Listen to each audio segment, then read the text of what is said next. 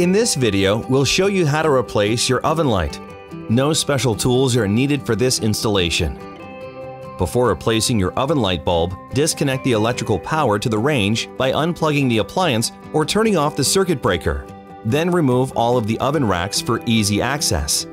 Oven lights have a few different types of protective covers. If your oven light is encased in a protective cover with a wire holder, remove it by holding the cover and pushing the wire upward, then lift the cover off.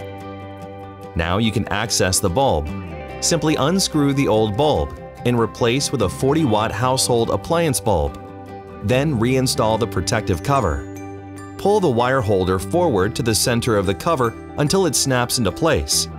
Finally, restore power to the range and test the oven light to ensure it works. For genuine replacement parts, shop now at geapplianceparts.com and be sure to subscribe to our YouTube channel for the latest updates, recipes, and more.